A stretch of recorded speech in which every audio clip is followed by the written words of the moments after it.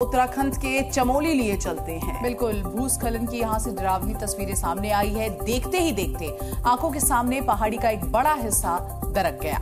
और उसके बाद किस तरीके से वहाँ पर डरावने हालात हो गए दिखाएँगे आपको।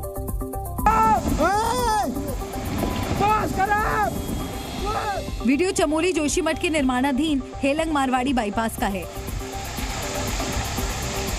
अरे दूसरी मशीन बुला लो। सामने नज़र आ रही पहाड़ी अचानक दरकने लगती है।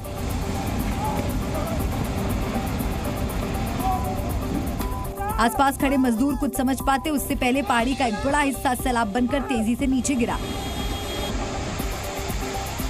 ऐसा लगा मानो जलजिला आ गया हो। मलबे और धुएँ का गुबार बेहद तेज़ी से आगे बढ़ा। अरे दूसरी मशीन बुला लो। आसपास खड़े मजदूरों ने किसी तरह भागकर अपनी जान बचाई। हालाँकि इस हादसे में एक मशीन को नुकसान पहुँचा है। जानकारी के मुताबिक सड़क निर्माण में लगी एजेंसी चोरी छिपे, ब्लास्टिंग कर रही है। इसीलिए आसपास की पहाड़ी लगातार कच्ची होती जा रही है और आए दिन लैंडस्लाइड की घटनाएँ होती है। ये वीडियो 12 अक्टूबर का बताया जा रहा है.